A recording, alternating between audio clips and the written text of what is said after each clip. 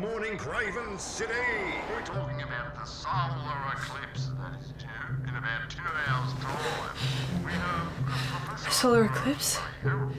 This is for you. Just a little something. That's a fucking expensive necklace if it's really from where she says it's from. I wonder what she's trying to protect me from. This edition is very in depth. How will your mom help? Look, she's not evil, okay? Um, I kind of beg to differ. Do you ever get like messages from like God? What do you mean? Like um, like warnings, like when when I touched that necklace that you gave me. God was